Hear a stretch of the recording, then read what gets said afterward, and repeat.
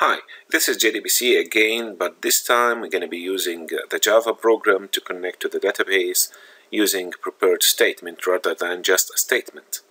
The difference between a prepared statement and a statement is that with a prepared statement you can provide a question mark for parameters. It's much easier than using a statement when you have parameters in your query.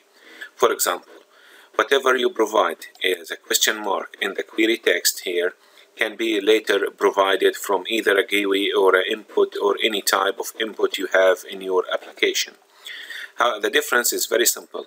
Instead of creating a statement, go ahead and use prepared statement. This is the prepared statement. You create the statement from a connection.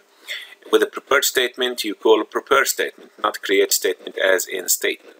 Here we have select star from emp where job number is and salary is greater than. So this time we are providing job number and uh, salary as parameters. Then you can set the parameters. Of course, you must use the same types. For example, here set string 1 is equal to clerk and uh, second is double, uh, which is 750.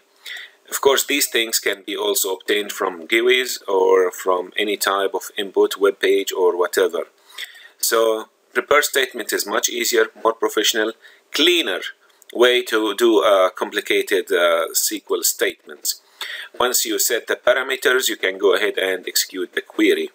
The remaining steps are also the same as statement. You just get a result set whenever you execute a query. You can iterate in the result set and get the name and whatever uh, column names you want from the result set. Again, the difference is only prepare statement. Prepare statement, when you can create a connection, use question marks for whatever parameters, set the parameters first, make sure you use the right type, and then execute the query. Let us run this one. So I get Adams and this salary uh, according to the